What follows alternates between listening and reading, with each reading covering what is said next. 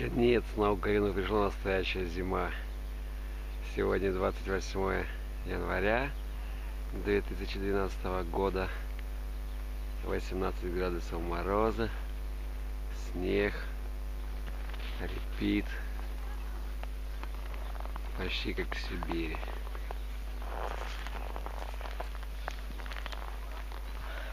Мы ждем поезда. Куда едем? В Киев Что в Киеве? на собрание. Да, поедем на собрание. На шабатние стражи Глебу Спивакова. Красотень.